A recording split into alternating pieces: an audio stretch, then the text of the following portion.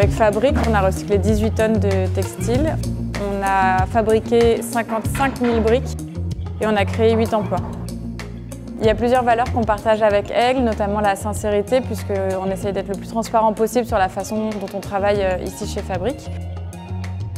Aujourd'hui, on a beaucoup de demandes en Europe et à l'étranger et pour le moment, on refuse systématiquement puisqu'on trouve ça pas pertinent de produire à Paris et d'envoyer euh, par avion, par camion.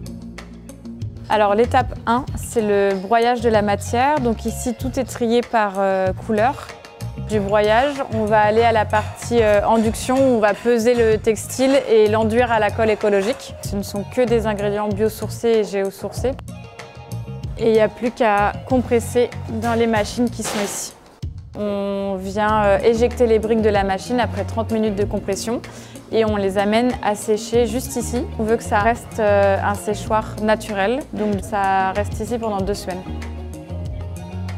Du coup, pour Aigle, on a développé euh, un nouveau format pour pouvoir dans les boutiques mettre des supports de présentation de messages ou les mettre à l'horizontale pour présenter des produits. Ce qui a été très chouette, c'est qu'on a travaillé directement avec leurs déchets textiles. Donc ça a été des chutes de confection, des prototypes, beaucoup de vêtements qui avaient des défauts de fabrication. Et donc ça a créé cette couleur, du coup qui est une couleur sur mesure pour Aigle. Je suis Clarisse Merlet, je suis la fondatrice de Fabrique.